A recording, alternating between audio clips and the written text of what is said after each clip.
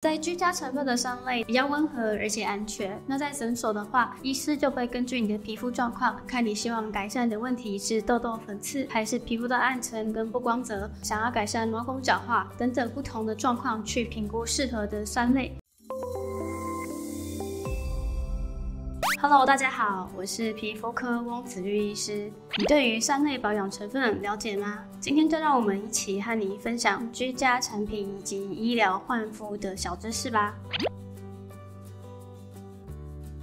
将在诊所使用的酸类焕肤，主要就是透过一个特定浓度的酸类，去使得角肺角质细胞脱落，并且加速皮肤的新陈代谢，进一步达成我们希望改善的美容目的。其实酸类焕肤呢，它可以分成浅层的焕肤、中层的焕肤，还有深层的焕肤。依照它的酸的种类，还有它的浓度以及使用的方式等等，可以达到不一样的功效。那其实酸类焕肤呢，可以最早在古埃及的时候，我们就看到埃及艳后她会使用发酵的牛奶，也就是乳酸来进行这样子的一个皮肤保养。那甚至在法国人，他们也会用酒石酸酒里面的发酵成分去进行美容浴哦。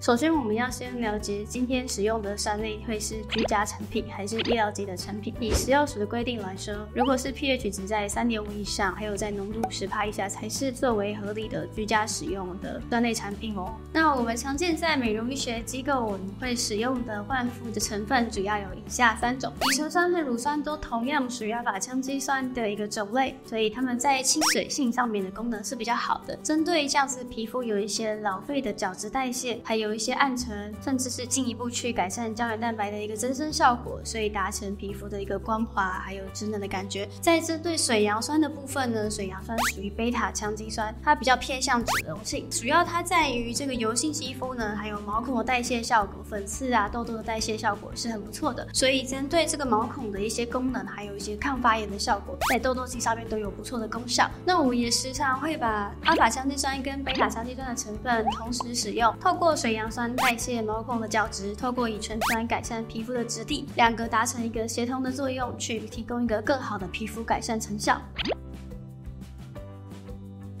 居家产品来说，通常我们追求的是比较温和而且安全。那在诊所的话，医师就会根据你的皮肤状况，看你希望改善的问题是痘痘、粉刺，还是皮肤的暗沉跟不光泽，想要改善毛孔角化等等不同的状况，去评估适合的酸类。在居家成分的酸类呢，它基本上还有一个建议，就是 pH 值不可以低于三点五。如果在诊所的话，医生通常会用比较高强度的酸种，不管是在浓度或是 pH 值的强度上面，达到一个比较好的。皮肤改善的成效，但也因为它的浓度的关系，还有它的 pH 值的关系，可能就需要有一个时间的控制，以及透过医师的专业去评估皮肤的改善成果，选择一个适合的时间点，中和这些酸类的一个效用。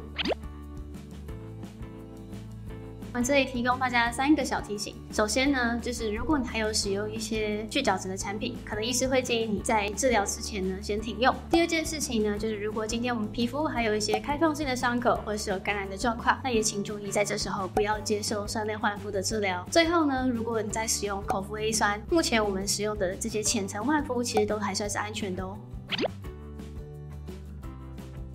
通常做完酸类焕肤之后，皮肤可能会有轻微的刺痛、红痒的状况，会随着时间越来越缓解。相反的，它变得更厉害，或是出现一些伤口，那就请你回去找医生了解皮肤的状况。在酸类保养之后呢，我们有三件事情也请大家注意。首先就是因为有红痒，所以避免抠抓。第二件事情就是温和的清洁，还有足够的保湿。最后呢，就是要加强防晒。酸害产品的使用可以带给皮肤很多不同的功效，但相对之下还有一些并发症或者是风险，也需要提醒各位注意。如果有任何皮肤的状况，都请你向皮肤科医师进一步的咨询与了解，这样才能够确保你拥有健康又美丽的皮肤哦。这里提供大家三个小贴，嗯好，再一次。